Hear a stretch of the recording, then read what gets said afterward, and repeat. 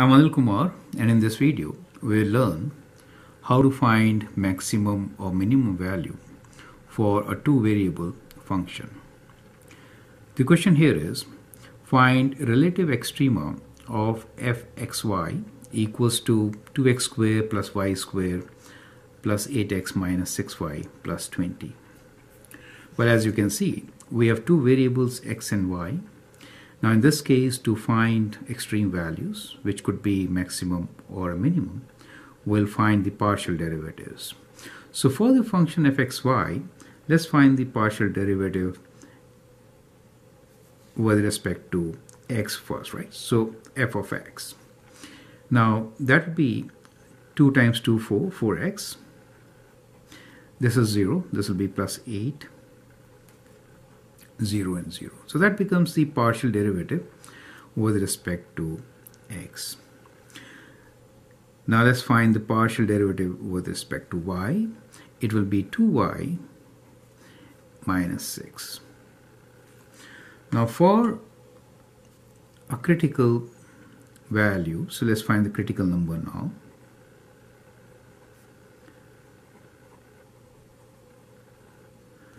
Both f of x should be and f of y partial derivative should be equal to 0 right?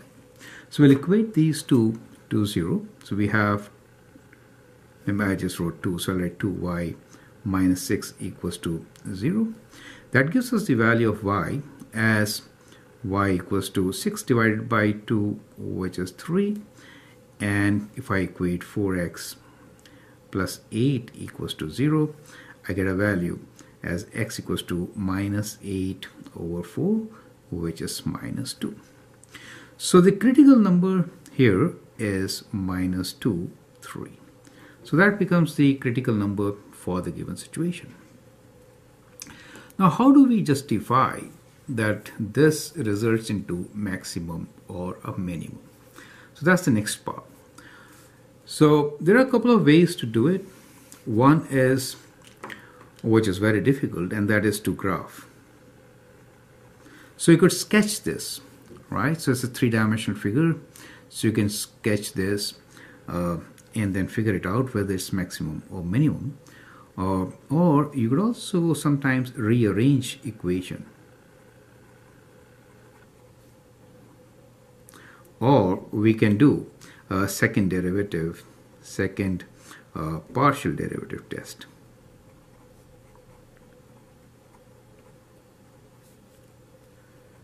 So there are actually three ways to, to figure it out. Now, uh, let's do it one by one and see how we can actually uh, find the solution for such equation. We already have the solution, but we don't know whether it represents maximum, minimum, or it could be neither also, right? So what we can do here is, uh, well, I'll get to partial derivative uh, later, Let's rearrange this equation. So we have this equation f of xy equals to 2x squared. Let me write the x terms together. So we have plus 8x and then y as y squared minus 6y plus 20. Now if you rearrange these values, uh, you get this x term. We can do completing the squares now. So you could write this as 2 times x square plus 4x. Now to make it a perfect square, what I can do is I can add and subtract 2 squared. Do you understand? So I'm just making perfect square. Similarly for this half, we could do uh, we could do y square minus 6y. Half of 6 is 3. So we'll add and subtract 3 square plus 20. Right? So I'm doing a long method now. I know the result will give me something like this. We get 2 times x plus 4x minus 2 square will be x plus 2 whole square. Then we have minus 2 square, which is 4. When I open the bracket, 2 times minus 4 is minus 8. Here I have y square minus 6x plus 3 square, which could be written as y minus 3 whole square. Minus 3 square gives me minus 9. And I got plus 20 here. Do you see that? Now, so you see that it relates to the value which we got. So what we get here is 2 times x plus 2 whole square uh, plus y minus 3 whole square minus 8 minus 9 is minus 17 plus 20 is plus 3. So what you also see is the value of this function for minus 2, 3 is actually equals to, this will be 0 for minus 2, for 3 that will be 0, it is equals to 3. So from the equation you can very easily see that for the value minus 2 minus 3 we are having 3 plus 0 right? These are positive values. Now for any other value x and y right the value is going to be higher. So this value is going to be greater than 3 right? If you don't consider that point a and b nearby points the value is greater than 3 that means this results into what? It results into a minimum. Do you understand? So here we have rearranged the equation and provided you with the logic saying that this is indeed a local minimum. And in this case it happens to be a maximum an absolute minimum also right? So if I have to represent this on a diagram let me do that also for you. Here let's say we're talking about x y and z axis. So 3 right? Okay. So what we have here is this is this is f of xy correct? Now uh, the minimum value which we got is minus 2 uh, 3 that means uh, on this side we can go minus 2 let me use a different ink okay so minus 2 means, uh, let's say this is 1 unit, this is 2 unit, and 3 along this side. So 1, 2, and 3, and then 3 up, that is the y value. So we have 1, 2, 3. So that becomes your minimum point, and if you sketch this, it will look something like this. Right? It will look something like this. Do you see that? So that figure represents the function fxy and clearly this particular point which we have here represents the absolute minimum also right? So this is that point. Perfect. So that is a representation of the figure. It is not easy to draw these graphs however right? So so we can say that well in this situation uh, it was kind of simpler so we just we just drew this, right? So, so, so, it's kind of like this, right? So I hope you understand this 3D figure. Anyway, so that's the that's the origin. This is our x-axis. This is y and z-axis. On z-axis, we represent this function.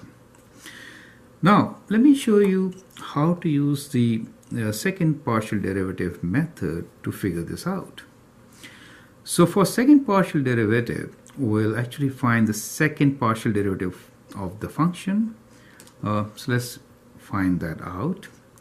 So f of x with respect to x is, in this case, 4x plus 8, derivative is 4.